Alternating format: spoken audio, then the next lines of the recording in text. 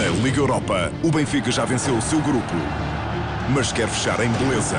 É o ajuste de contas com os gregos do AEK. Numa cavalgada goleadora, toda uma equipa à conquista da Europa.